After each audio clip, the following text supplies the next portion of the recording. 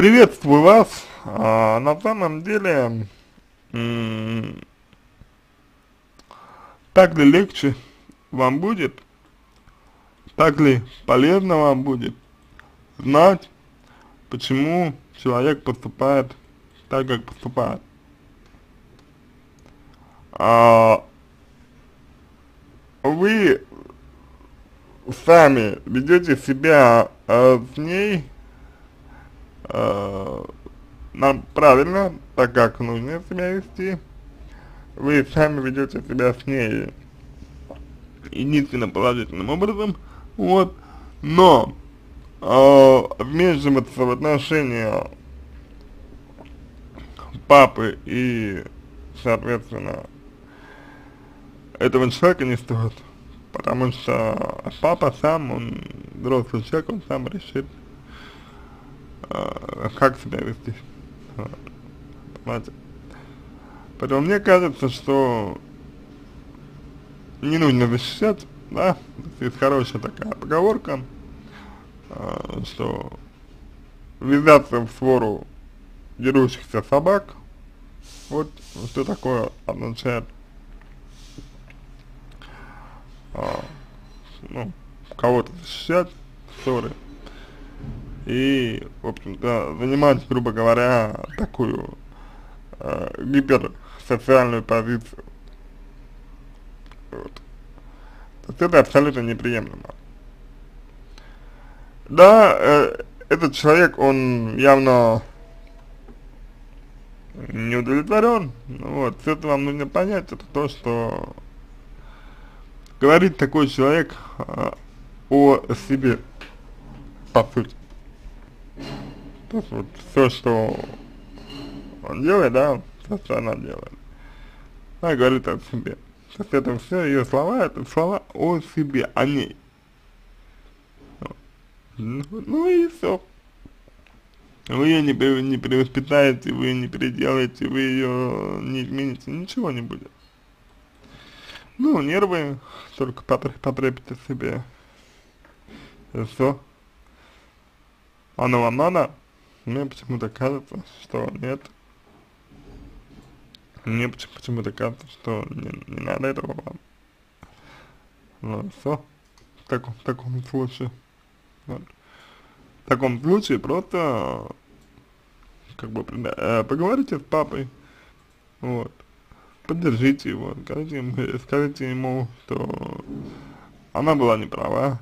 Скажите, скажите ему, что так вести себя нельзя, что, ну, вы думаете, к примеру, к примеру, вы думаете, что делать ей больше нечего, вот, у вас на застольях там, и так далее, вот. Но, но решать это должен быть папа, а не вы. Но для нее, для этого человека нет абсолютно никакой разницы, э, с кем там с кем, грубо говоря, ссориться, да, с кем, на кого, грубо говоря, к, э, кричать, да, на, на кого сливать негатив, э, нет разницы такому человеку. Вот. Поэтому хоть, хоть давайте ей отпор, хоть не давайте ей отпор,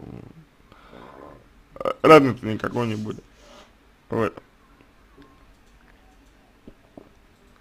А, а папа должен сам решать свои проблемы. Я полагаю, что это справедливо. Как минимум, это справедливо. Потому что он, он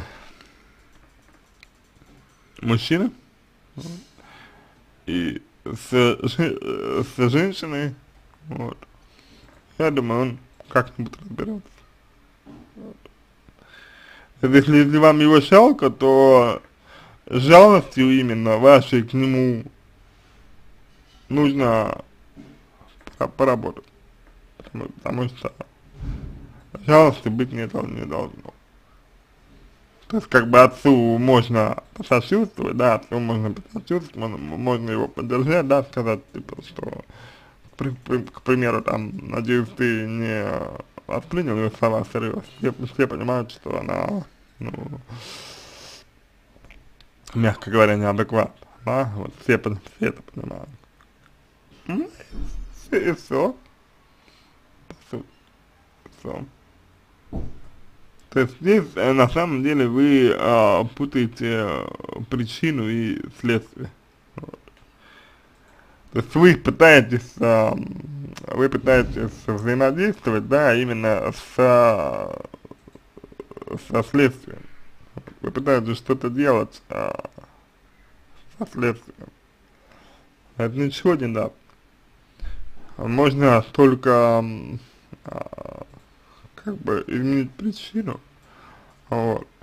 Но для этого нужно желание этого человека. Соответственно, если этот человек не хочет применять причину, не хочет себе, разбира в себе разбираться, то, соответственно, его остается только принять таким, как он есть, и все, больше, больше вариантов нет. А с другой стороны, с другой стороны, совершенно очевидно, что человек ведет себя так, как будто у него наболело. Это, ну, видимо, такая проблема, она наблюдалась не первый раз, по мнению, ну, по мнению этого человека, видимо. И, видимо, копилось в ней это достаточно долго. Вот. И по факту, по факту она просто взорвала. Это, это состояние аффекта. Состояние аффекта, ну, надо сказать, что, опять же, вряд ли можно говорить, да, нам о том, что вот, как бы, можно человеком управлять что можно человеку что-то, до, до человека что-то донести. Вот. Поэтому нужно посмотреть, насколько обоснованы, обоснованы претензии а, этого человека. То есть, да, то есть они неуместны, то есть они э, как бы в, отвратительной форме сделаны, это безусловно, но и отец тоже должен отвечать за свои действия. Вот. Так что не, не нужно выставлять отца жертвой такой, а, соответственно, ее агрессором. А вам не нужно играть роль спасителя. Почитайте об этом в интернете, называется треугольник Карпмана. Вот я думаю, что а, я думаю, что вам это будет полезно. Вот. На этом все. Я надеюсь, что помог вам. Если у вас остались вопросы, пишите в личку, буду рад помочь. Если вам понравился мой ответ, буду благодарен. Если сделаете его лучшим, я желаю вам всего самого доброго и удачи.